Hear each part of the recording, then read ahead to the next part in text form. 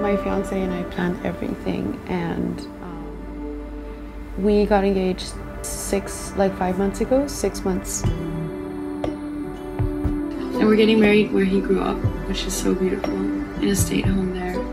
All my friends and I are we're so we're so comfortable with our age. It's that's taken a lot of growing up and kind of really being having a steady, solid group. I just wanted to keep it private, whatever feels right at the moment. So it wasn't like a conscious, nobody can know, you can't hear about it. But it's more just like I wasn't sharing, and if people found out, it was cool with me. A crazy like secret and stuff. Kind of, I didn't want to have to explain stuff. I wanted it to happen naturally, and then kind of let people and share, you know, share with people after. I didn't really think it out too much. It's just right, and that's what I feel. And everybody actually noticed a change in me. I was so much happier, like so much lighter. Like they really knew that something was like really, really right. And when they met him, they understood.